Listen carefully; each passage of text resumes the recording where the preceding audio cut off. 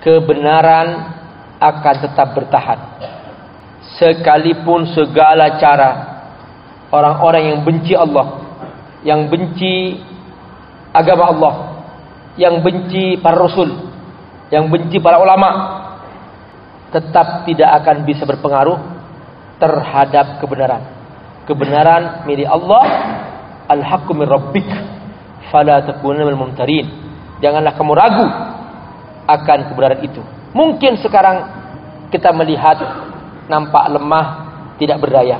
Tapi satu saat Allah Subhanahu wa taala akan tunjukkan bahwa yang benar adalah benar dan yang salah adalah salah.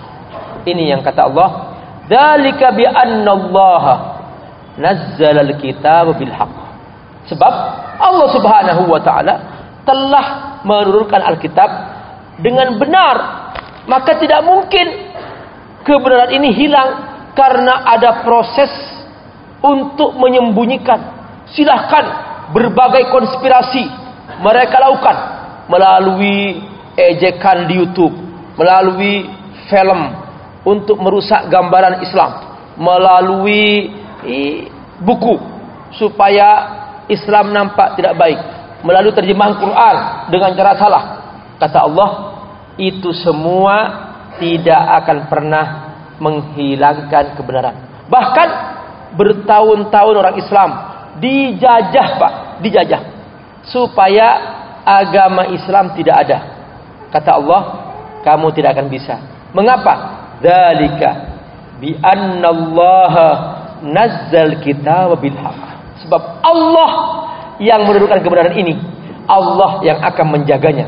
Inna nahnu nazzalna dzikra wa inna lahu lahafidhu. Kami yang menurunkan kebenaran. Kami yang menurunkan Al-Quran. Maka kami yang akan menjaga kebenaran ini. Nah, justru kata Allah, mereka itulah yang berusaha menyembunyikan kebenaran, yang merusak agama Allah, yang merusak umat Islam, mereka nanti akan berada dalam pertarungan tidak pernah selesai antara mereka sendiri. Bapak Ibu, ini kabar gembira bahwa nanti mereka mungkin sekarang kita tidak mampu berdaya, nggak mampu melawan. Terlalu banyak kekuatan mereka dengan segala cara dikepung kekuatan ekonomi, kekuatan media dikepung sehingga sekalipun orang Islam nampak benar tetapi oleh mereka dibikin nampak tidak benar. Tetapi kata Allah, mereka nanti akan berperang sendiri.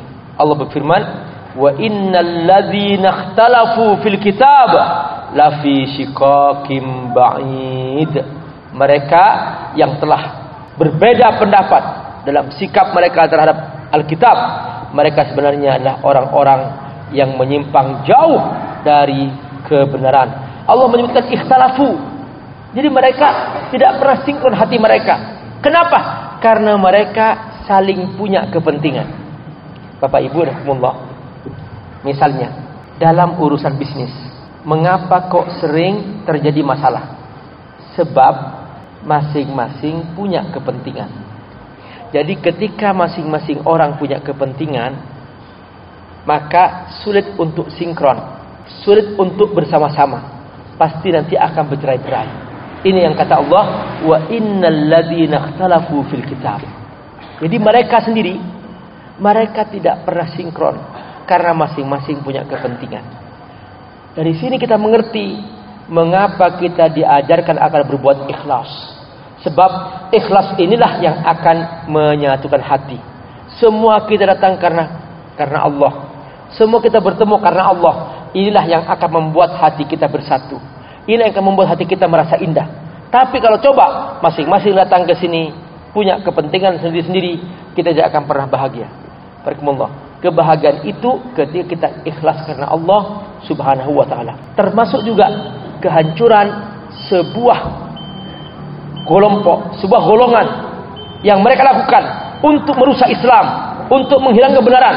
Itu semua adalah karena mereka masing-masing punya kepentingan. Allah telah menyingkap dalam Al-Qur'an, "Wa innal ladzina ikhtalafu fil kitab la fi shiqaqin ba'id." Shiqaq artinya apa? Perpecahan bait bercerai-berai mereka tidak akan pernah bersatu dalam hati mereka tahsabuhum jami'a wa qulubuhum syatta. Kamu menyangka mereka bersatu? Tidak kata Allah. Mereka hatinya bercerai-berai. Itulah kondisi orang-orang yang Allah Subhanahu wa taala.